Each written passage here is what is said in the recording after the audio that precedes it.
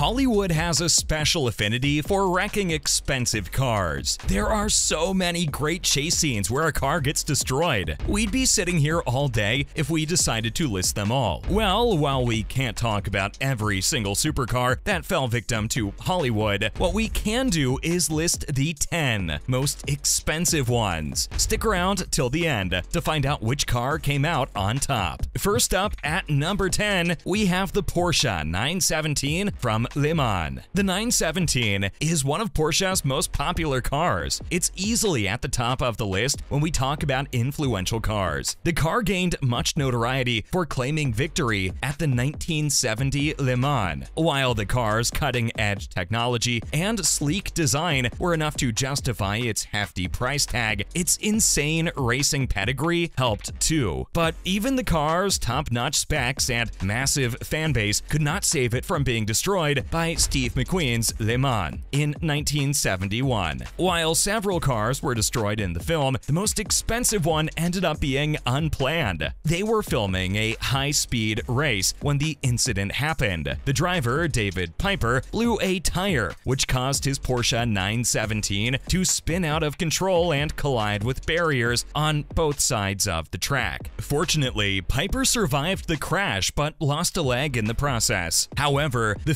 filmmakers did make it up to him by giving him the entire global revenue of the movie's first day in theaters. The destroyed Porsche was restored after filming and sold for approximately $14 million in 2017. Moving on to number 9 with Aston Martin DBS from Casino Royale. Aston Martin has almost become synonymous with James Bond. Every time we hear the name, we can think of 007 driving it around town, hunting down bad guys. And while Bond may be known for his fast cars, the sad truth is that most of these vehicles end up at the scrapyard once the man with a license to kill is done with them. This rings especially true for the Aston Martin DBS, used in the Bond classic Casino Royale. The best part is, though, the car got to go out in one of the movie's most iconic scenes. Bond is driving his DBS when he notices a woman lying on the road, forcing him to veer off track. The DBS then barrel rolls down the road before eventually stopping. Exactly the kind of send-off one would expect for a car like this. Up next at number 8 is the Lamborghini Murcielago LP640 from The Dark Knight. Christopher Nolan's Dark Knight trilogy is widely considered the blueprint for all superhero movies. Well, at least the good ones, that is. It's an iconic and era-defining film that changed how we looked at Batman forever. However, we and millions of petrol heads worldwide have just one gripe with the movie. In the 2008 film, the producers decided it would be a good idea to destroy a Lamborghini Murcielago. If you don't know why this is such a huge deal, get this. Only 21 units of this car were built. It's like one of the rarest cars ever, and they wrecked one for a movie. At least it went out for a good cause. In the film, one of Bruce Wayne's employees is about to reveal his true identity. Incidentally, the Joker is also about to assassinate this same employee. So Wayne does what any rational billionaire would. He races the man down the road to stop him from being killed. Batman crashes into the car carrying his employee and rescues him. And while he does save the day, the same can't be said for the Murcielago. The car gets completely totaled and isn't seen in the movie again. Couldn't you just take out the Batmobile or literally any of the dozen cars you have lying around in your garage that day, Bruce? Why did it have to be the Lambo? Coming up at number 7, 1967, Chevrolet Corvette Stingray from Con Air. Second generation Corvettes have been a mainstay in Hollywood for quite a while now, and why shouldn't they be? It doesn't get much better than C2 Chevrolets when we're talking about classic Vettes. They are the perfect combo of beauty, elegance, and power. And while everyone loves seeing a Vette grace the big screen, when one of these beauties gets destroyed, it always leaves a sour taste in every gearhead's mouth. This was the case with the 1997 film Con Air. This film is responsible for destroying not only one, but two gorgeous Vettes. First, they hooked a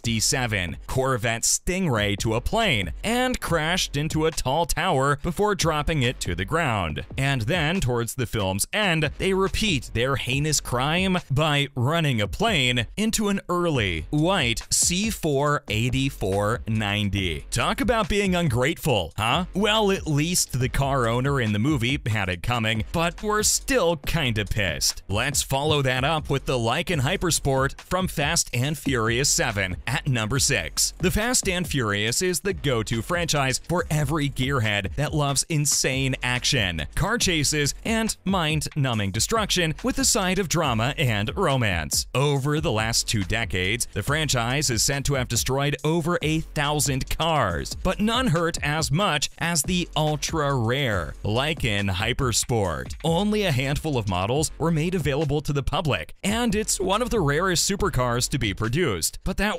wasn't enough to stop Dom Toretto from flying the car off a skyscraper. The car was destroyed, but somehow Dom and Brian made it out alive. We honestly would have taken the car instead. Many things that happened in the Lykan Hypersport scenes may have been the movie's magic, but it's still heartbreaking to see such a gorgeous car be treated like that. Taking the fifth spot on our list is the 1961 Ferrari 250 GT California from Ferris Bueller's Day Off. In the 1986 classic, Ferris Bueller's Day Off, Cameron lands himself in deep water when he accidentally wrecks one of his dad's most prized possessions, a 1961 Ferrari 250 GT California. Now, while any Ferrari model would have had the same effect, this one's special because it's extremely rare and a single car can cost as much as $10 million. But you don't have to cringe too hard. The car used during the rest of the movie and the destroyed stunt car were both replicas. However, that didn't stop one bidder from paying $122,000 for the undamaged replica at an auction in 2010. Next up at number 4 is the Lamborghini Huracan from Doctor Strange. The fascinating part is that Doctor Strange probably wouldn't even exist if this hadn't been destroyed. Stephen Strange had it all. He was at the peak of his career with loads of money to spend, but everything came crashing down when he got into an accident. The first Doctor Strange film established Stephen as a careless and selfish man who had no regard for the rules. He ends up paying the price for his recklessness when his Lamborghini spins out of control, tumbles off a cliff, and crashes into a lake, leaving him severely crippled. From there, the doc starts a journey of self-discovery and eventually becomes the Sorcerer Supreme. Who knew getting into a car crash could give you superpowers? Now, don't be getting any ideas though. Now, at number 3 is the Aston Martin DB5 from Goldfinger. The DB5 is unquestionably the most iconic Aston Martin featured in a James Bond film. The interesting part is that Aston Martin wasn't even the studio's first choice. The DB5 became the definitive Bond car after Jaguar passed on an excellent opportunity to provide a car for Goldfinger. The machine gun wielding DB5 is wrecked in the 1964 film after 007 crashes it into a wall during a car chase. The car sold for a whopping $4.6 million